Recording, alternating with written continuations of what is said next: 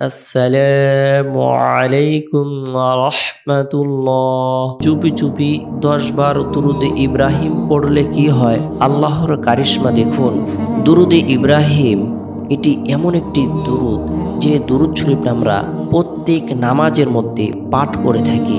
যত দুরুদ রয়েছে, এর মধ্যে থেকে অন্যতম ফজিলতপূর্ণ একটি দুরুদ হলো দুরুদে ইব্রাহিম। যে দুরুদ পাঠ করলে আল্লাহ পাক রব্বুল আলামিন বান্দার উপর রহমত নাজিল করেন, বান্দা বান্দিদের গুনাহকে মাফ করে দেন, তাদের পদমর্যাদাকে বৃদ্ধি করে দেন। দুরুদে ইব্রাহিম, এটি ফজিলতপূর্ণ একটি দুরুদ শরীফ, তাৎপর্যপূর্ণ একটি দুরুদ মাহাত্মপূর্ণ একটি দুরুদ। বরকতপূর্ণ একটি দুরুদ। নবী করিম সাল্লাহ আলি সাল্লাম হাদিস শরীফে বিশেষভাবে এরশাদ করেছেন, মান সাল্লাহ আলাইয়া ওয়াহেদাতান সাল্লাল্লাহু আলাইহি আশর যে ব্যক্তি আমার উপর মাত্র একবার দুরুদ পাঠ করবে, আল্লাহ পাক রব্বুল আলামিন তার উপর দশটি রহমত নাজিল করে দিবেন। আল্লাহ তাআলা তার দশটি পদমর্যাদাকে বৃদ্ধি করে দিবেন, আল্লাহ পাক রব্বুল আলামিন তার দশটি গুনাহকে মাফ করে দিবেন।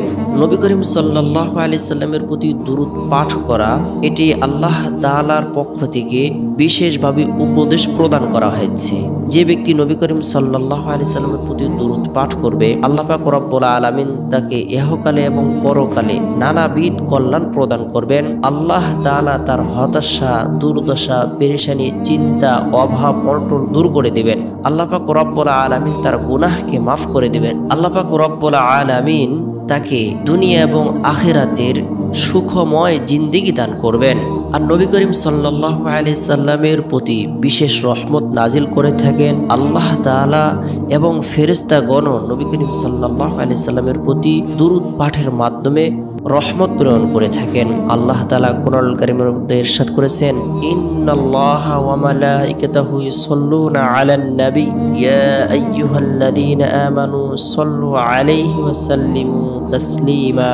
নিশ্চয় আল্লাহ পাক তার ফেরেশতারা রাসূলুল্লাহ সাল্লাল্লাহু সাল্লামের প্রতি দুরূদ পাঠ করার মাধ্যমে রহমত প্রেরণ করে থাকেন। তাই হে মুমিনগণ তোমরাও দুরুদ শরীফ পাঠ করার দ্বারা রসুল্লাহ সাল্লাহ আলি সাল্লামের প্রতি রহমত প্রেরণ করতে থাকো এবং তার প্রতি বেশি বেশি সালাম পেশ করতে থাকো। সুর আহজাব, আয়ত ছাপ্পান্ন।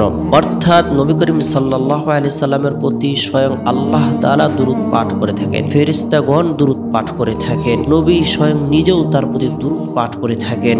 নবীর প্রতি সকল মাখলুকাত দুরুদ পাঠ করে থাকে। যে ব্যক্তি দুরুদ পাঠ করবে, তার আমল পবিত্র হবে, তার গুনাহের কাফারা হবে, আল্লাহ তালা তার মর্যাদা বৃদ্ধি করে দেবেন। আল্লাহ পাক রব্বুল আলামিন তাকে উহুদ পাহাড়ের মতো নেকি প্রদান করবেন। আল্লাহ পাক রব্বুল আলামিন তাকে ভয় ভীতি থেকে নিরাপদ রাখবেন। আমরা প্রত্যেকেই নবী করিম সাল্লাহ আলি সাল্লামের প্রতি অধিক পরিমাণে দূরত পাঠ করব। বিশেষ করে নবী করিম সাল্লাহ আলি সাল্লামের প্রতি সকাল সন্ধ্যায় যদি মাত্র দশ বার করে দুরুদে ইব্রাহিম আমরা পাঠ করি, স্বয়ং নবী করিম সাল্লাহ আলি সাল্লাম আমাদের জন্য সুপারিশ করবেন, সাফাত করবেন। রাসুল্লাহ সাল্লাহ আলি সাল্লাম বলেছেন, যে ব্যক্তি সকালে উঠে দশবার ও সন্ধ্যায় দশবার আমার উপর দুরুদ পাঠ করবে, কেয়ামতের দিবসে সে আমার সাফাত পাবে। সুহান আমরা সকালে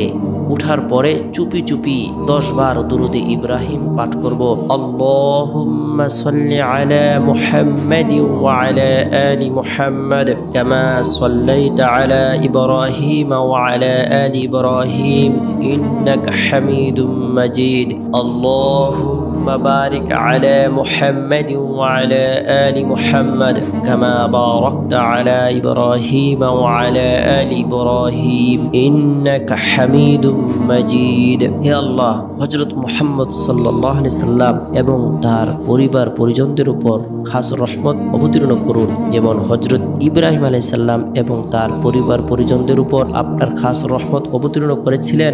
নিশ্চয় আপনি প্রশংসার যোগ্য এবং সর্বোচ্চ সম্মানের অধিকারী। হে আল্লাহ, মোহাম্মদ সাল্লা সাল্লাম এবং তার পরিবার পরিজনদের উপর আপনার খাস বরকতসমূহ চির বর্ণশীল নিয়ামত অবতীর্ণ করুন।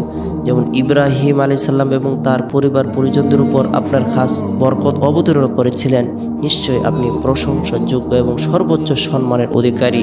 আমরা সকালে ঘুম থেকে উঠে যদি তওবার নিয়তে একবার ইস্তিগফার পাঠ করি, আস্তাগফিরুল্লাহ রব্বি মিন কুল্লি যামবি ওয়া ইলাই এরপরে আমরা দুরুদে ইব্রাহিম দশ বার পাঠ করি। আল্লাহ তাআলা আমাদেরকে যে নিয়ামতটি প্রদান করবেন, স্বয়ং নবী করিম সাল্লাম কাল কিয়ামতির দিন ভয়াবহ অবস্থার মধ্যে আমাদের জন্য সাফাত করবেন। সন্ধ্যায় যদি আমরা অনুরূপভাবে দশ বার দুরুদে ইব্রাহিম পাঠ করে, আমল করি, নবী করিম সাল্লাহ সাল্লাম আমাদের জন্য সাফাত করবেন। সুবাহান আল্লাহ